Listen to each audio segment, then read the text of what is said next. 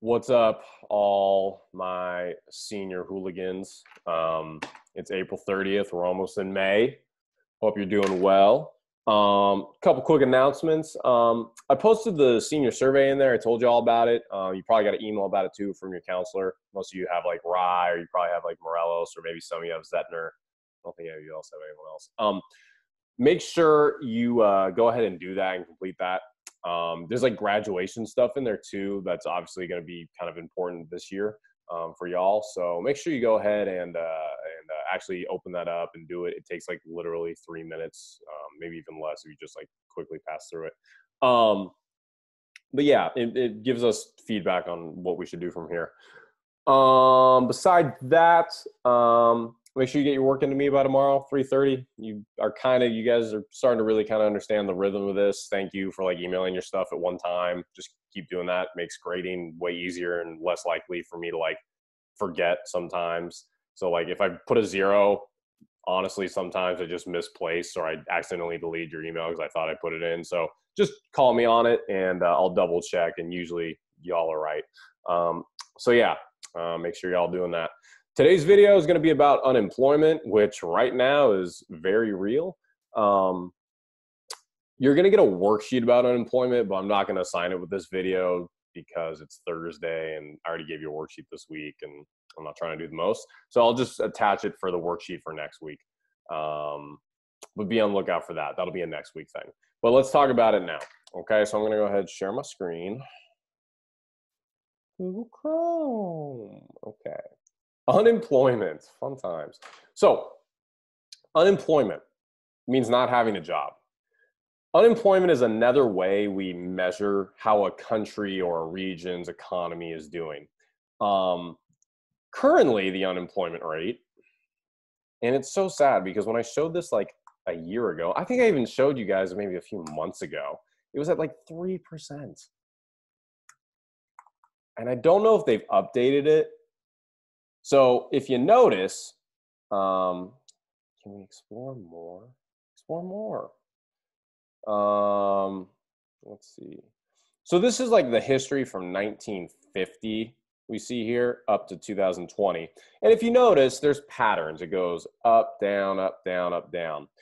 Um, so our our economy generally has to go through purges. It it's kind of, and we'll talk about this. It's kind of how like a recession and uh, and a growth period it has to they work in patterns kind of like the circle of life. Um, eventually when we have too much growth there's usually going to be a downturn because we've overinvested we're overinflated we're we we're actually spending more than what we really have. Um, that'll make more sense soon. Um, there's various reasons that like economies go up and down and why and and we'll get to that but um we can just look historically at the trends and if we notice you know um we have a couple peaks here. The first big peak was in the mid uh, early 80s this is when reagan became president. Um, there was uh, various reasons for the early 80s kind of economic crash. It was a recession. Um, had to do a lot with like foreign oil prices. Um, it also had to do with this was kind of the beginning of when like the American factories kind of really started shutting down. Um, we adjusted though, and then by the end of Reagan's presidency, un- unemployment was low. Then of course, you know, goes up, and it goes down. It was really low around 2000s. Um, that's because there were a lot of the new technology companies like Google and Yahoo, and so people were the dot com thing was kind of going off. Um, and so things were really good then. But then the reality was there were too many of those dot com companies, so we had another recession. And then things were good again until we had the Great Recession of 2007, 2008, 2009, um, where we went up to 10%. Now, ever since that point, we've been having a really every few months we go down a little bit, a little bit, a little bit, a little bit, and then you know we were at 3.5 just in February. It was great. I mean, it was arguably the lowest almost on here since the 50s. I mean, 3%, it doesn't get much lower than 3%.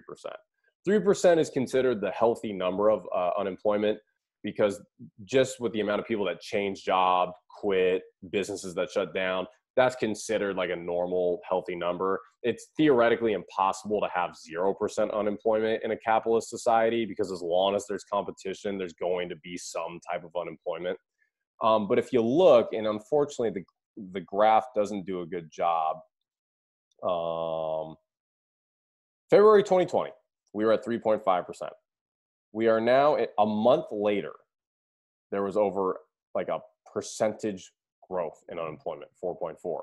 When April comes around, it'll probably go up to five, six, who knows? I mean, you guys have probably heard about, I mean, if I just put unemployment in the like Google News, um, unemployment, like millions. I don't know how to spell. Um, 30, I think like the number is like 30 million. U.S. jobless claims climbed 3.8, push corona coronavirus since the virus kind of shut everything down, 30 million people. That's crazy. There's only about 340 million people in the United States, anyways. 30 million people unemployed in a month is crazy. We haven't seen anything like this since the Great Depression.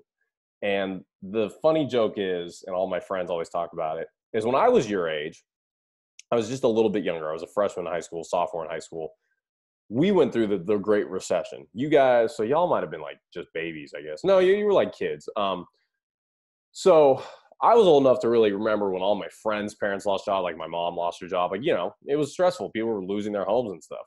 Um, this recession, which is kind of becoming a depression, um, is different.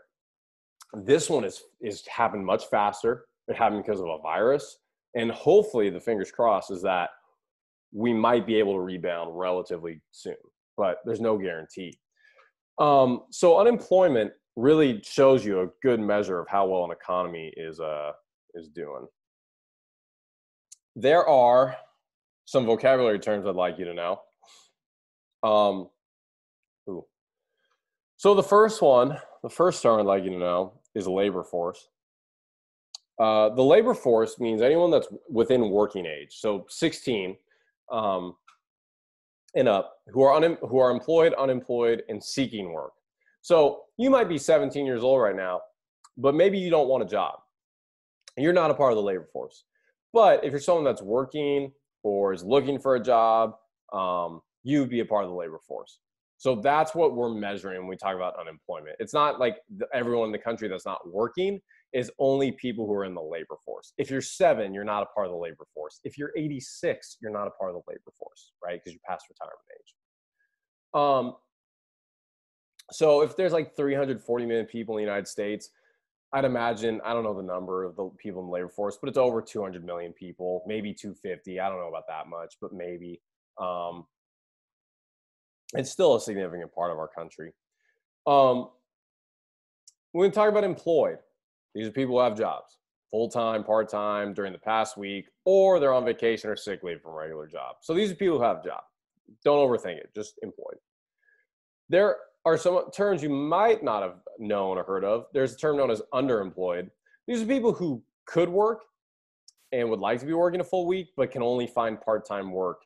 Um, this term also is used to describe people with high skills who are in low wage jobs that don't require such a like uh, high level abilities. For the example I give is like think of a trained medical doctor who works as like a Uber driver, or think of a lawyer who's like a Lyft or Uber driver, or works at Starbucks, right? That would make you underemployed.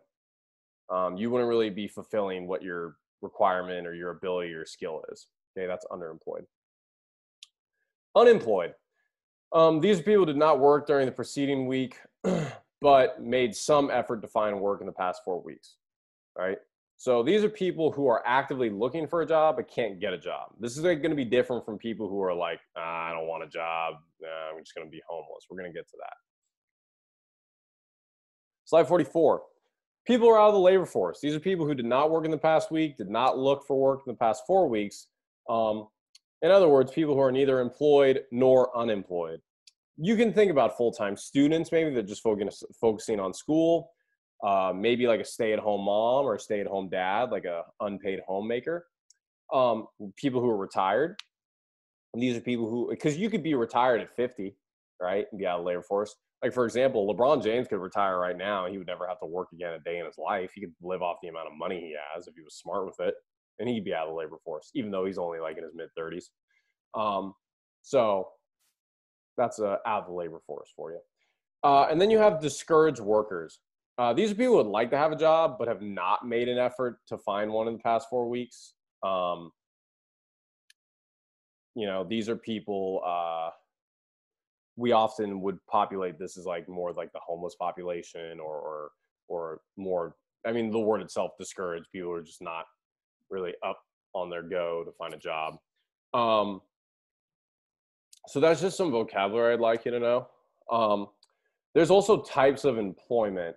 Um, we're going to go a few more slides. We're almost there.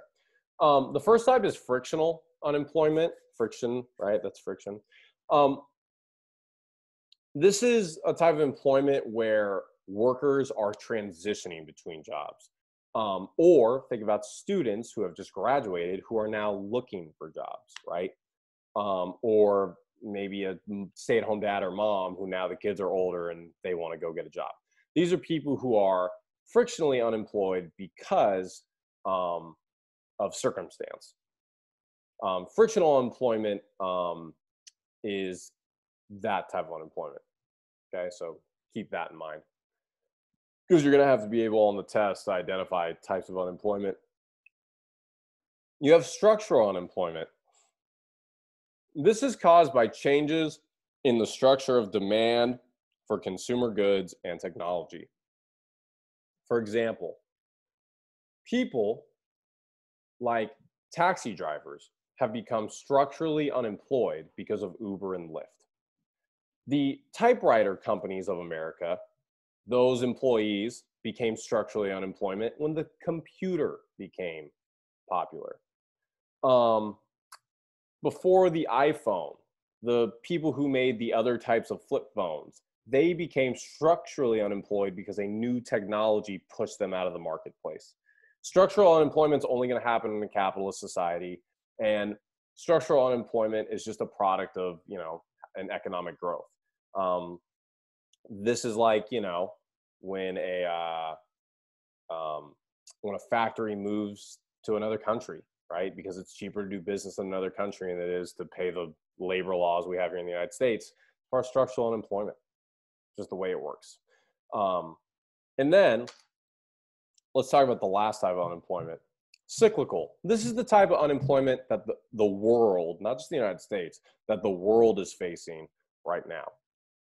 Cyclical unemployment is caused by recession phases. So when the recession happened about 13 years ago, that was a cyclical unemployment. It's not like my mom's business at the time was getting pushed out. She worked at a tile company at the time. Um, it just there wasn't enough money in the in the country's marketplace and really around the world because it was a global recession. Um, so people had to make layoffs, and that's what happened to my mom, along with a lot of other people. Right now, it's the same thing. The virus has shut down places like restaurants, bars, um, other entertainment venues. If there's no money coming in, you can't pay employees. You can't pay their health benefits. You got to cut them. You got to fire them. You got to furlough them, lay them off. You know, we're going to get to all that too. Um, so it's important to understand that um, cyclical unemployment is caused by just like recession phases. Okay. Um, let's see what else. You've probably heard this term, and I, and I, guess I should include this going forward, and I'll put this in the notes. Shoot, I can just do this right now, can I? Um, other terms. This is what I call freestyle teaching. Um, uh, move that. Okay. Um, I'll make this bigger. So, did I spell that right? Oh, yeah.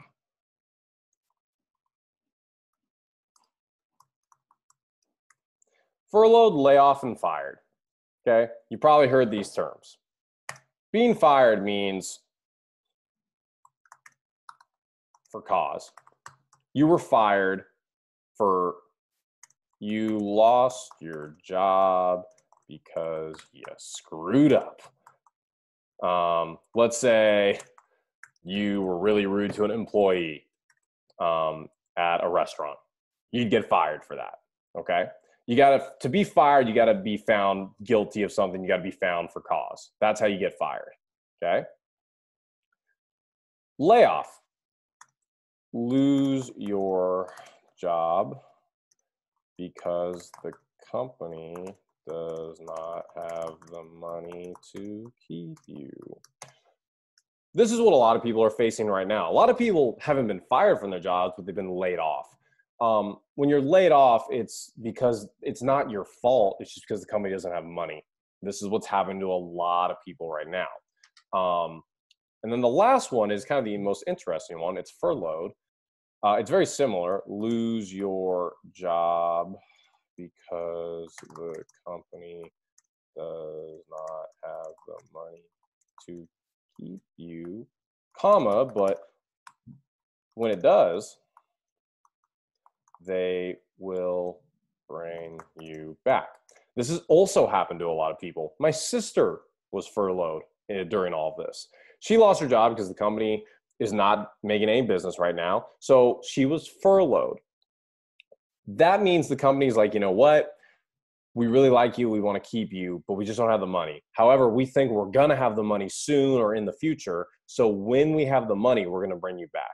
That's being furloughed. So fired meaning you're trash, you screwed up. Layoff or furloughed meaning the company doesn't have money. Difference between a layoff and a furlough layoff, you're not coming back. Furlough, you might come back. Hopefully, that's their plan. Might as well throw that in there because I'm sure probably some of you have heard that. Okay, last slide now.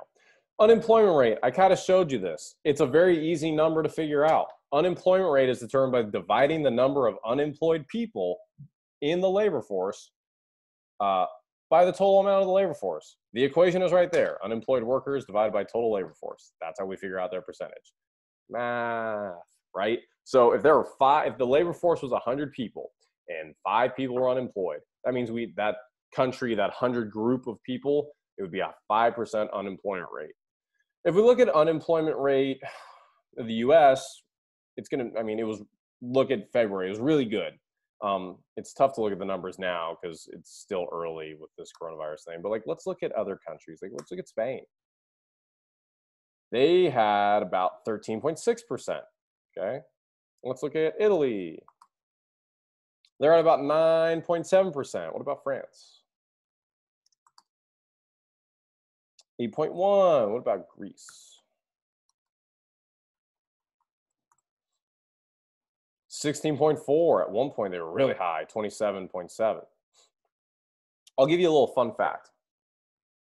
Europeans typically have higher unemployment rates because culturally, Europeans don't have the same gumption that the United States has for work there is a greater need in the United States to work than there is in European countries. That's because they are very socialist. There's a lot of government programs to help people so you don't have to work, right? Us here in the United States, you got to make your move, you got to make moves if you want to survive. You got to hustle for a life. Like it's not easy just kind of like trust be able to trust the government to survive. Like you got to have to hustle here in the United States to survive. It's what why the United States is like on the cutting edge of that's why all the biggest businesses are here. That's why we typically have kind of the most developed, best type of stuff, um, is because we're so competitive and we got to keep making moves. In Europe, people are laid back. They don't really need jobs. They kind of just take breaks in the middle of the day. It's a different world over there. It's very different. But then if you go to places like Japan, uh, why don't you just show me on the graph? Um, it's pretty low. It's like us right? 2.45%. Um, or South Korea. Give me a graph so it's easy to show. Okay, whatever. 4.8%. Um, and that's even probably larger because of the uh, coronavirus. Um, or if you look at like Singapore, 3.62. That's also another cultural difference. They're more similar to the United States. These are people who, culturally speaking, in those societies, it's a big like you know you got to go work you got to work hard you got to work big time. Like in japan i think it's it's like considered like a uh, a good thing if you fall asleep at your job because you're supposed to be working so hard. Um, so they kind of share that similar mindset as like american people do is like go out like hustle work hard. So sometimes unemployment rates can be affected culturally speaking. Um, uh, so y'all can play around and look around the world and look at different unemployment rates. You can look at unemployment rates of counties, cities, states if you wanted to. Um, so it I'll, like the whole point of unemployment is it just it's another way to measure how well a country's doing economically. All right. So that's the end of this video. I'm going to stop the share. Um, couple things. I'm going to post this video in the classroom here in the next few minutes. Uh, it's like 12:10 right now, and then um, be on the lookout also later because I'm going to have the classroom like information to get on the uh, Zoom conference call tomorrow. Um, be there. You want to show up. It's in your uh, best interest. Um, besides that, stay easy, be cool, um, watch this video, and I'll talk to y'all later. Take care.